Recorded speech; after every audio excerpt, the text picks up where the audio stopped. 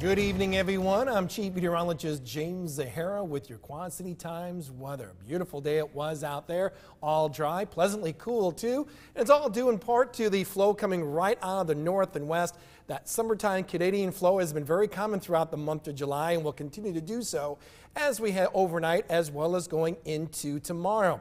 The warm surface will interact with the very cold air aloft and like we saw around the uh, skies today, Expect to see some clouds to pop up here and there. No chance of any wet weather. We'll keep it high and dry for our Tuesday.